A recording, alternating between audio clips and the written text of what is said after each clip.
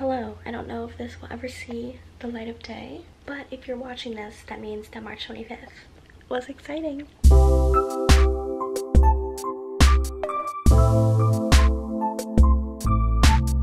Hello everyone, welcome back to my channel. My name is Logan if you've never been here before, and I am a pop culture junkie, hence this vlog. So tomorrow, March 25th, is like one of those pop culture days where like everything is happening, you know what I'm talking about? Like we get those every once in a while where like tons of artists are releasing.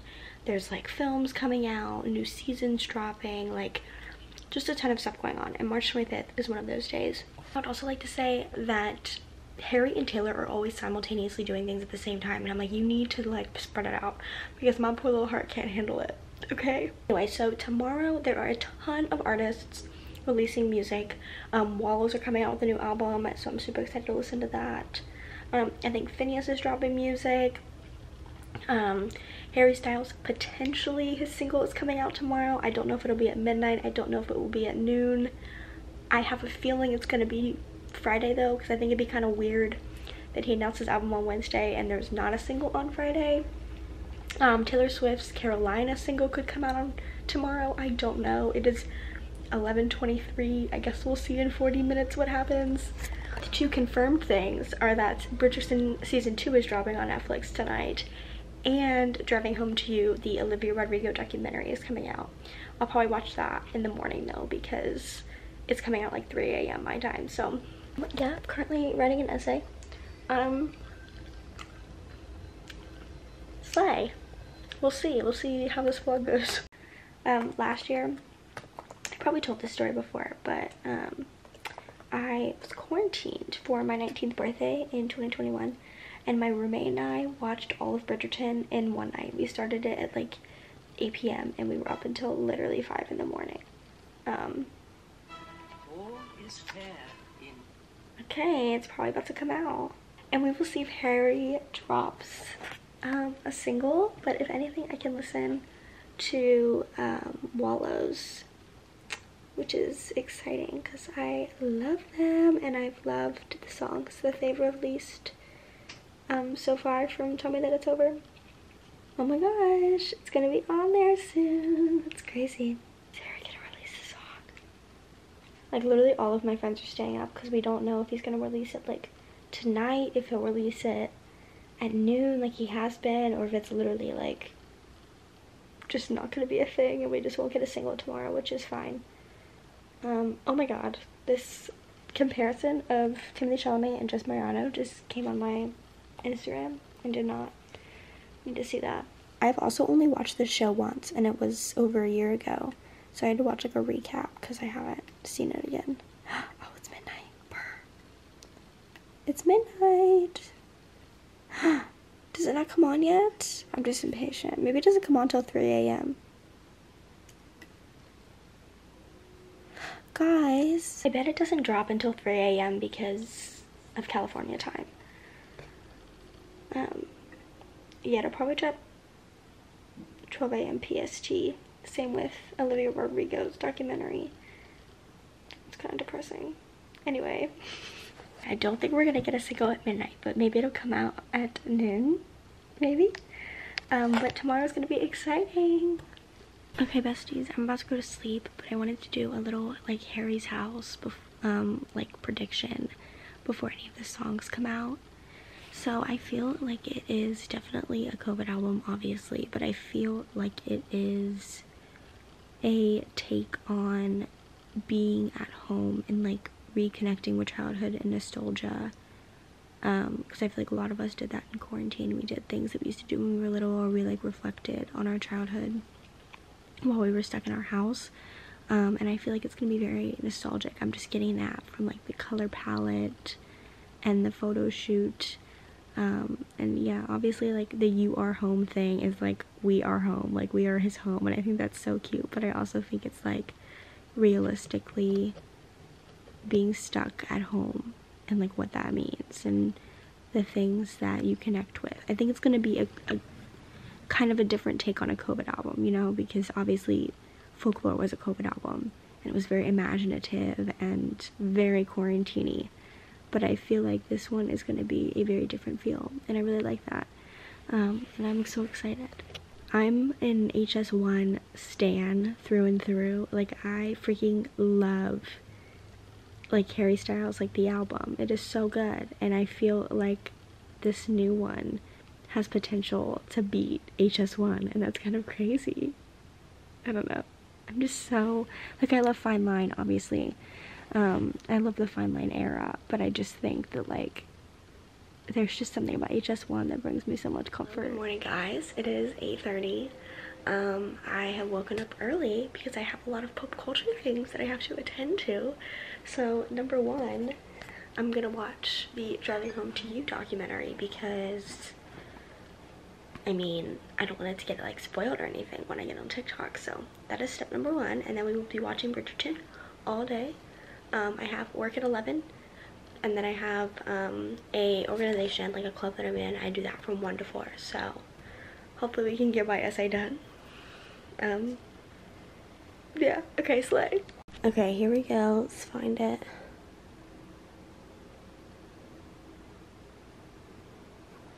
do I have to search it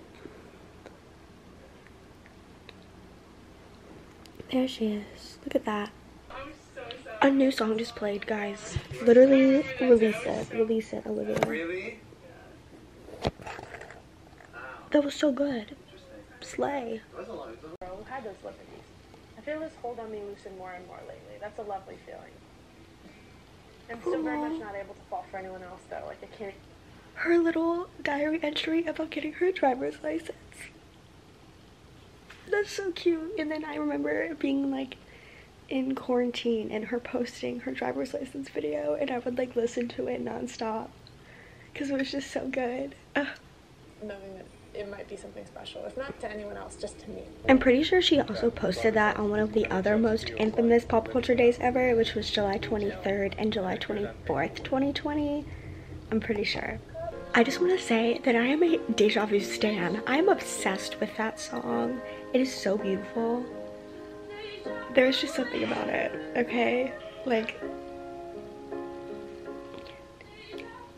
in this album, Aaron. This girl's vocabulary is so good. She just said unabashedly. I don't even know what that means. I was watching this scene and I literally thought, I'm not even kidding, I literally thought that was Doja Cat. And then I was like, no, that doesn't make sense. Why would Doja Cat like be in this movie? It's literally her in pink. Pink. Pink. And what's been pink? yeah, the second album rumors have been pink. I am obsessed with this brutal performance. It's like under a plane. Look at that. That is sick. That is so sick. If she doesn't open tour with this, Hope You're Okay is my favorite song on the album and this is such a little beautiful rendition of it. I'm just... There's a song in the credits. It has begun.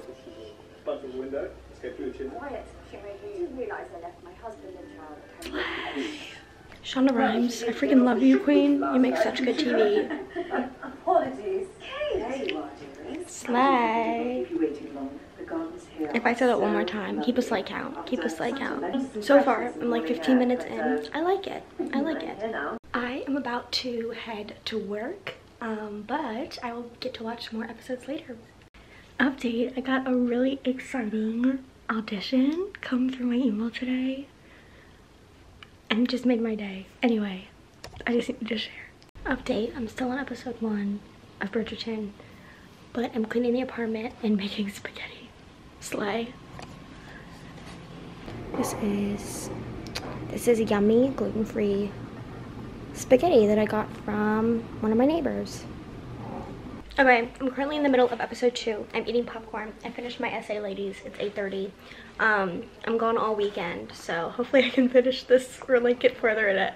Um, here's my thoughts so far. What's her name? Edwina's sister? Icon. Literal icon.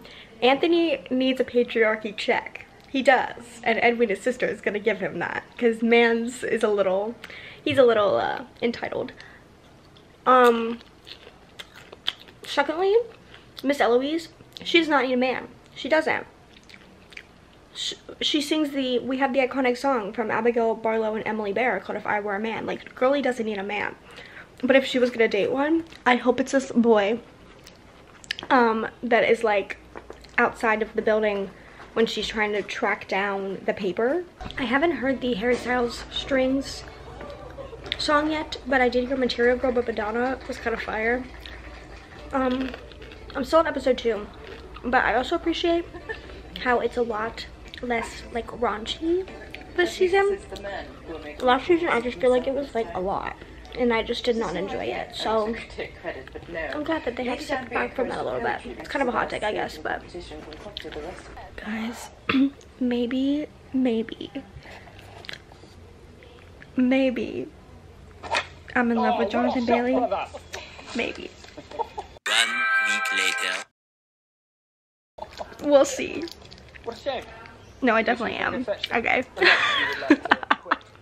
Lady Bridgerton is such an interesting character. Um, if you haven't watched it, then don't watch this part. I'm on season, or um, episode 3 of season 2 right now. And, like, I feel for her. I really, really do. Like, it's awful. It's horrible that her husband died. Um, and, like, I just can't. I just can't imagine, like, him dying suddenly and then you just having seven children and not knowing what to do.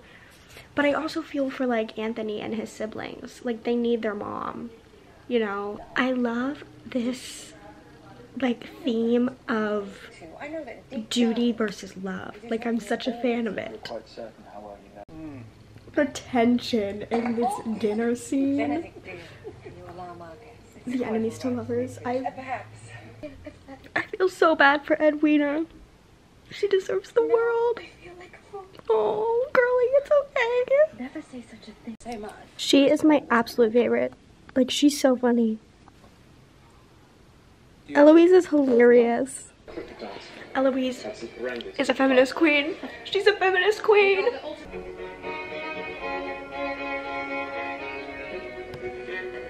The implications of them using this song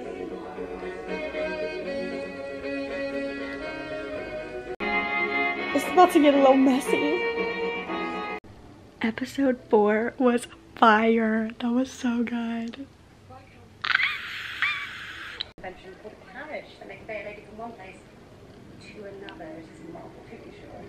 Forget Jonathan Bailey. I'm in love with the man from episode 5. Several errors in your arguments. He's beautiful. Oh, I'm I'm back to Jonathan Bailey standing.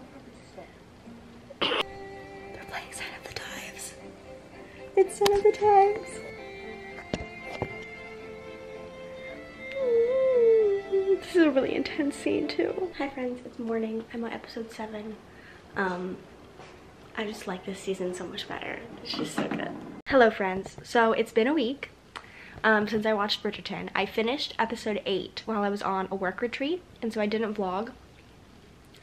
But I've had a week to kind of digest my thoughts um, rewatch scenes, get really enthralled with the show because of Bridgerton TikTok. Um, and I just have so many thoughts. First of all, episode 8, like literally no words. Like episode 8 was fire. Um, it's so good. I literally love season 2 so much. I think it's one of the best seasons like of television ever. It's so good, so well written the acting is exquisite definitely written for women like the way that the shots were and like the cinematography um, the hand holding the tension like oh my gosh. The scene where he does the three and the four literally have watched that like 80 times. I'm not even kidding. Um, everything about season two is just good. It's just good. Um, i like that it didn't end on as much of a cliffhanger um, I appreciate that because uh, I know there's going to be more seasons obviously. Um, but I like that it wasn't as big of a like a cliffhanger. They were just kind of like a happily ever after kind of vibe which I liked. Um, I saw something about how there's like a bee and it, season one ends with a bee um, and how that's like the dad watching over them and I think that's so cute. Um, I am on Anthony Bridgerton TikTok um, so I cannot escape this man. I have rewatched all the scenes from season two. um, I'm such a, a Kanthony stan. They're so cute. Um, I hope that next season we get to see Edwina find her man. Um, but like, it's just literally this. You know the speech I'm talking about. You know the speech I'm talking about in eight, episode eight. I can't get it out of my brain. I just can't get it out of my brain. I, this is why standards are so high. People wonder, it's because of shows like this. It's because of Anthony Bridgerton. Um, but yeah, so thank you for watching Bridgerton with me. Um, it, it's my fangirl nature. I'm actually reading Fangirl right now for class. Um, but Fangirl is my middle name, so thank you for coming on this adventure with me. Um, also, March 25th, Harry did not release a single, but it's been a week, and we have a new Harry Styles single, so slay! If you haven't seen my Harry Styles video, I will have it linked down below. Um, but yeah, thank you guys so much for watching, and I will see you in my next video. Bye!